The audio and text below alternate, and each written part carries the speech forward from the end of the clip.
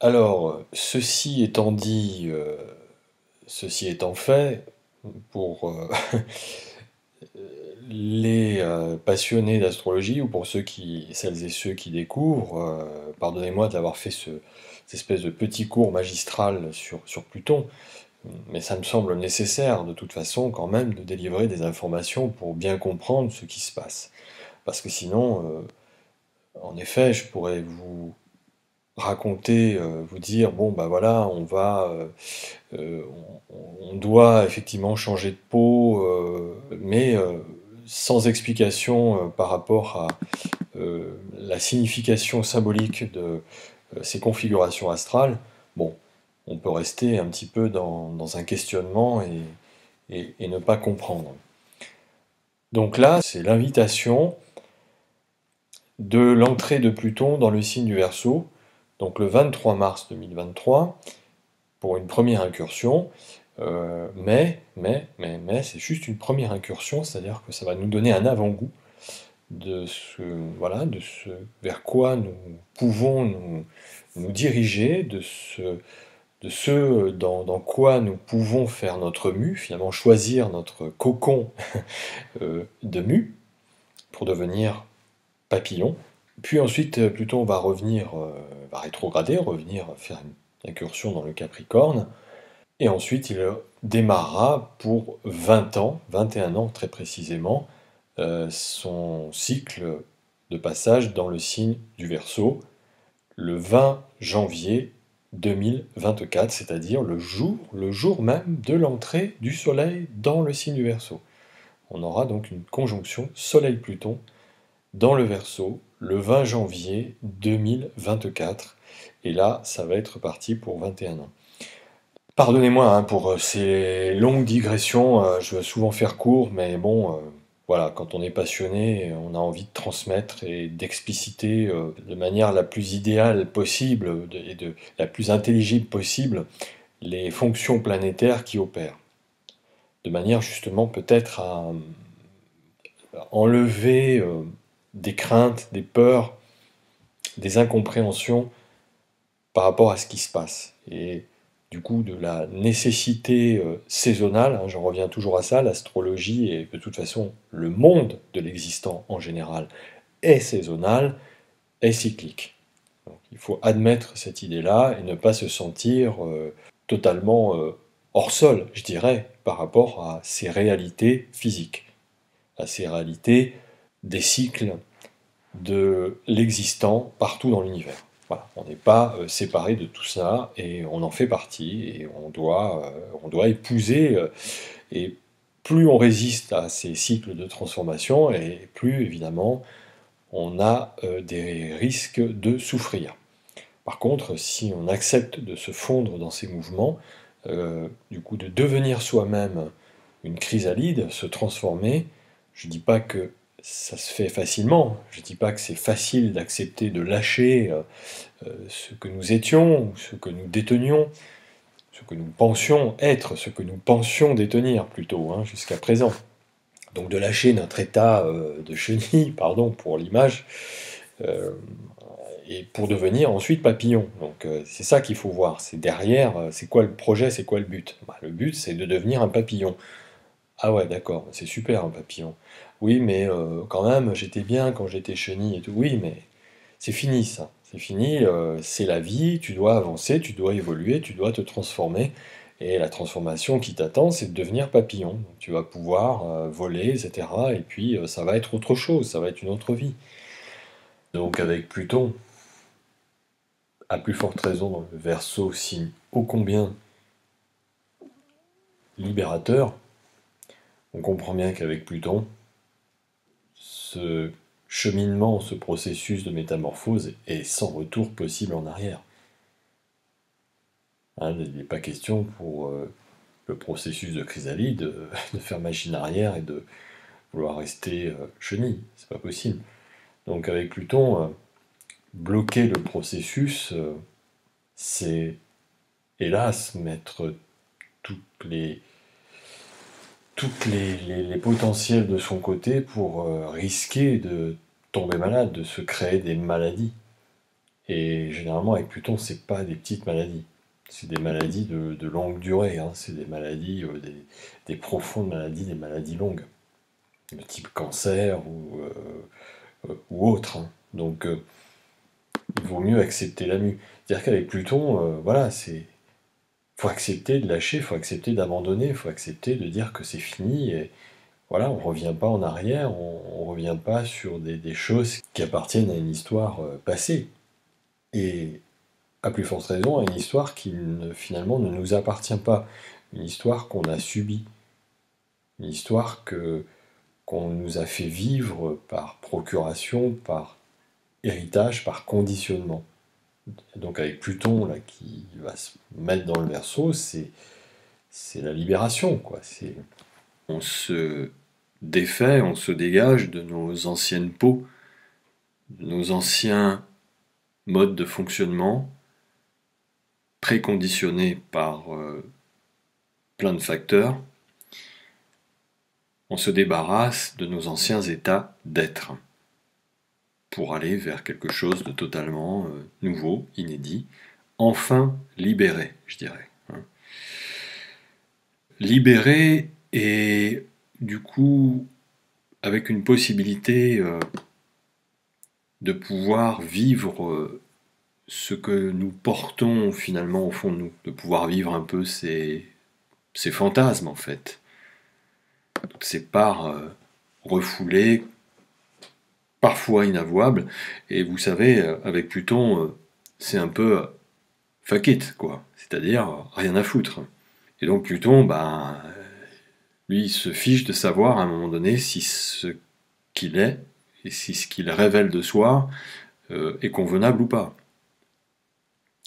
Et d'ailleurs, avec le verso qui est un signe quand même euh, un peu rebelle, un peu rétif justement à, au vieil ordre et aux vieux principes capricorniens, aux vieilles structures instituées, il est fort à parier que Pluton euh, soit quand même très porteur d'une énergie euh, totalement neuve, totalement nouvelle. Mais pour cela, d'abord, il faut en quelque sorte euh, accepter de mourir à soi-même, accepter de, lâcher avec des choses avec lesquelles on fonctionnait jusqu'à présent, quand bien même ces choses nous semblaient normales, traditionnel, fonctionnel, sauf que il y a une nécessité d'évolution cyclique pour amener du nouveau, pour amener une métamorphose, une renaissance totalement nouvelle. Euh, donc, euh, bah, il faut mourir à soi-même pour renaître, différemment renaître euh, dans une nouvelle forme. Hein. Une forme plus en lien avec notre véritable identité finalement. Donc euh, oui, euh, il y a un côté un peu un côté dérangeant, inconvenable aux yeux d'une certaine bien-pensance, je vous dis, hein, d'une certaine de certaines façons de fonctionner habituelles, et voilà, mais après Pluton, lui, euh, il, agit pour soi, hein. il agit pour soi, mais en même temps, dans le verso, c'est c'est soi, mais pas au détriment de tous. C'est-à-dire c'est soi, mais pas au détriment du nous. Donc il y a un soi qui est mieux accordé, je vous le dis, avec euh, le cosmos. Car le verso parle du cosmos, ainsi que la maison ainsi qu'Uranus. Cosmos qui en grec signifie tout simplement ordre naturel. Donc voilà une nature princeps pour chacun d'entre nous qui va se manifester, qui va se libérer, qui va se dégager de, tous les carcans qui emprisonnent euh, notre moi véritable, notre soi, notre individuation, mais dans une conscience hautement éclairée de participation juste au monde.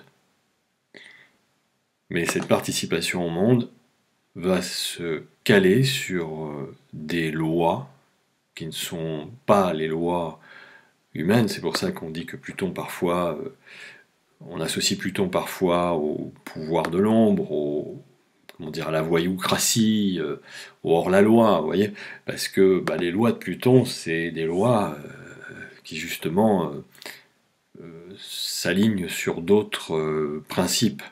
Mais ce sont les hors-la-loi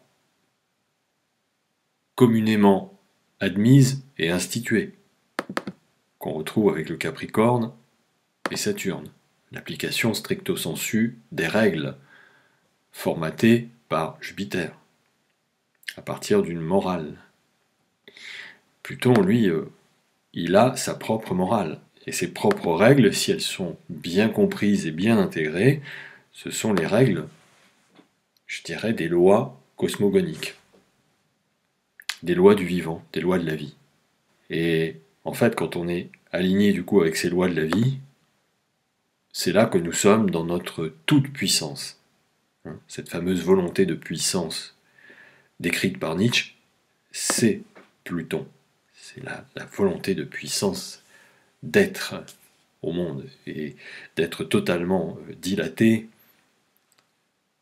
animé d'une puissance de feu, d'une puissance de vitalité et de vie qui euh, ne peut pas être nuisible par rapport à toutes les autres puissances de vie avec lesquelles nous vivons, qui sont dans notre environnement proche, dans notre écosystème. Donc Pluton dans le Verseau, ça va être, euh, ça va être de l'inconventionnel, du hors la loi, hors la loi capricornienne, hors la loi instituée par euh, nos constitutions euh, étatiques. Et c'est pour ça que je dis que nous allons vers une profonde euh, révolution, euh, je dirais, française, mais plus que française, une révolution européenne de fait, parce que ces lois instituées, ces règles instituées montrent justement leur date de péremption, sont arrivées au bout de ce qu'elles pouvaient offrir comme euh, possibilité de réguler notre vivre ensemble, et que en plus, euh, on voit bien que aujourd'hui la justice, euh, étant donné que la justice fait partie de ces règles instituées, et que ces règles instituées sont corrompues parce que usées, fatiguées, épuisées et détournées aussi de leurs intentions premières par quelques individus malveillants et profiteurs, pour du coup euh, utiliser à leur propre profit ces règles instituées. Donc forcément, euh, faire appel à la justice euh, en des temps actuels, bah, la justice, elle n'est que le, reflet de, ces, règles, de ces fonctionnements institués corrompus. Donc la justice, je ne dis pas que toute la justice et que toutes les personnes qui incarnent cette justice sont corrompues, heureusement, mais en tout cas pour celles qui euh, sont détenues par euh, des personnes euh, qui sont hélas elles-mêmes corrompues, qui se sont laissées détourner en fait, qui se sont laissées divertir, en fait c'est pas étonnant quoi. Donc ça veut dire qu'il va falloir, avec Pluton et le Verseau, réinventer une justice, réinventer une autre justice. Et bon, la justice plutonienne, c'est pas c'est une justice. Euh, c'est pas la justice des hommes. En tout cas, c'est c'est au-delà de la justice des hommes, quoi. C'est la justice plutonienne, c'est quand même œil pour œil, dent pour dent. Hein. C'est la loi du talion.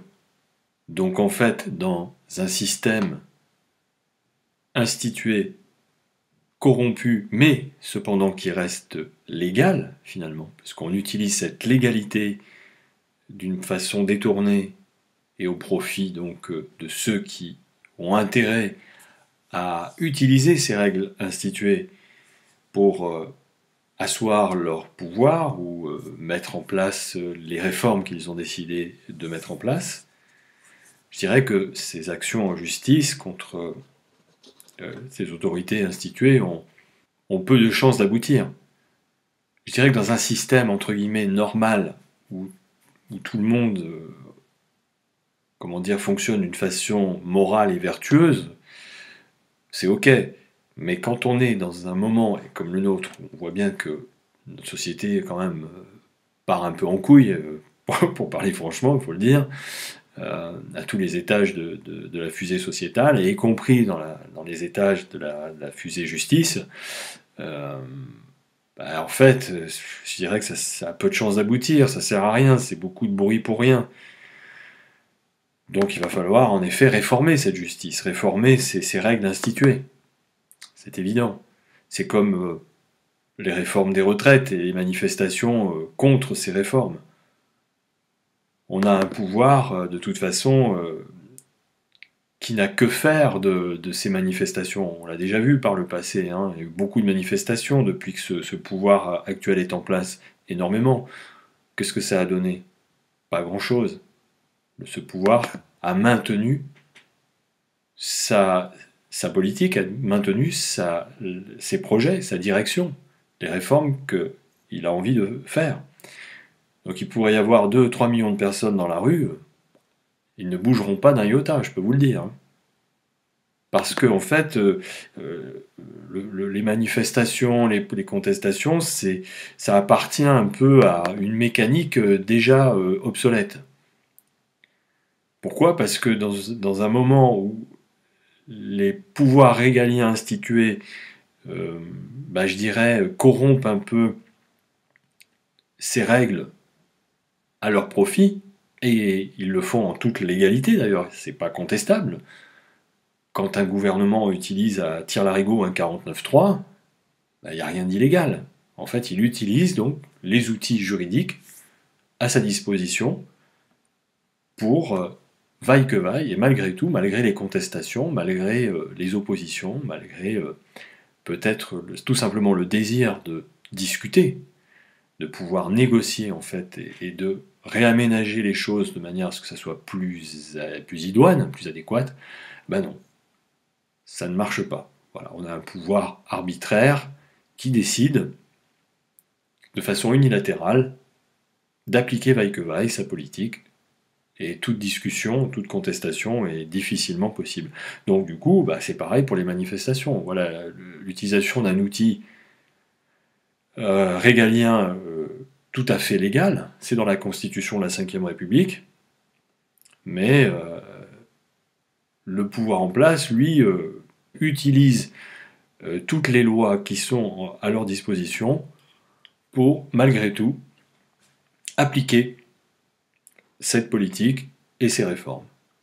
Je dirais que c'est ça qui va changer, parce que Pluton, euh, Pluton, à un moment donné, il va faire ressortir le fait que d'être encore dans des postures gentilles, légales, convenables, ça ne marche pas. Ça ne porte pas ses effets, ça ne porte pas ses fruits. Les voix contestataires ne sont pas entendues, quand bien même ces voix sont nombreuses. Donc là, à un moment donné, Qu'est-ce qui va se passer avec Pluton? Il est possible que ça en passe par des voies beaucoup moins légales. Et parce que la justice plutonienne, c'est une justice, je vous dis, qui est euh, en dehors des clous, qui est hors la loi, justement. Mais euh, parfois, euh, c'est c'est parfois une façon, pour le coup, de se faire entendre. Alors certes, c'est assez radical. Je dirais que c'est un petit peu la méthode, euh, sicilienne ou euh, la méthode corse. Pardon à mes amis corses que j'aime beaucoup, mais c'est vrai, voilà, en Corse, on le sait, il y a des pratiques euh, qui sont corses, voilà. Mais en même temps, c'est ce qui a peut-être permis à cette île absolument magnifique et à ce, et à ce peuple corse tout aussi magnifique, eh bien, de se faire respecter et de faire en sorte que cette île soit préservée d'appétit féroce, euh, d'appétit vénal, et de préserver un patrimoine, de préserver une culture, de préserver une identité. Voilà. quand bien même euh, les méthodes employées, ben voilà, sont, ouais, sont peut-être pas des méthodes très gentilles, mais en même temps, ça a une efficacité. Après, si du coup, si on accepte euh, ces méthodes, cette façon de faire de ces règles, en fait, il n'y a aucun problème, tout va bien. vous pouvez vivre en Corse, vous pouvez vivre en Sicile euh, paisiblement, en harmonie avec euh, tout le monde. Hum, voilà, mais du coup, vous vous, êtes plié à, des, voilà, des façons d'être, des façons de faire ancestrales, et puis tout le monde est OK là-dessus, et il n'y a pas de problème, tout va bien. Bah, c'est un petit peu ça, Pluton, et c'est ça qui va, qui va peut-être provoquer en entrant dans le verso, pour les années qui viennent. Des méthodes un peu, euh, un peu radicales, mais bon, qui vont faire comprendre justement à ceux qui sont à la tête des autorités que bah, ça va plus être possible, quoi. Évidemment, c'est pas encouragé, ça. On aimerait bien que tout, reste dans l'harmonie et dans la paix, mais le problème, c'est que quand on a en face de soi des, personnes entêtées, qui obtusent et qui ne veulent rien entendre, et qui en plus continuent euh, d'avancer avec un rouleau compresseur, et qui écrasent bah, justement euh, toutes les personnes qui sont sur leur passage, malgré euh, les revendications, les contestations, bah voilà, à un moment donné, il y a des individus qui, dans cette quantité, ne vont plus accepter ça. Et vont forcément, euh, bah, du coup, utiliser des moyens moins légaux, moins conventionnels, moins qu'une certaine morale réprouve, mais pour se faire entendre pour faire entendre leurs revendications, qui euh, sont peut-être totalement légitimes, en fait. Hein.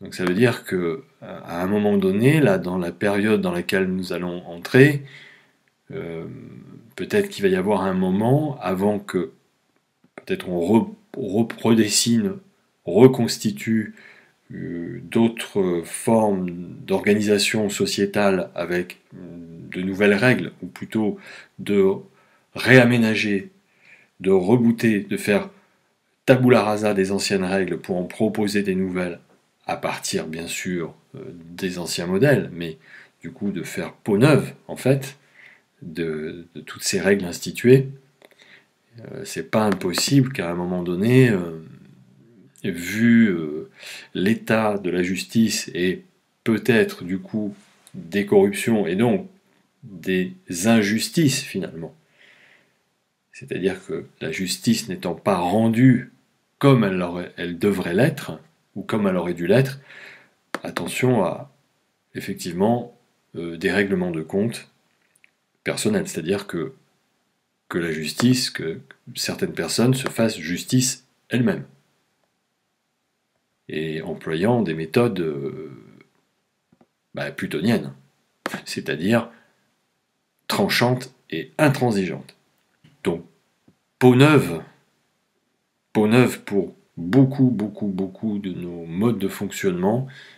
Et avec Pluton, je dis, il y a, le voyage est sans retour, sans retour possible.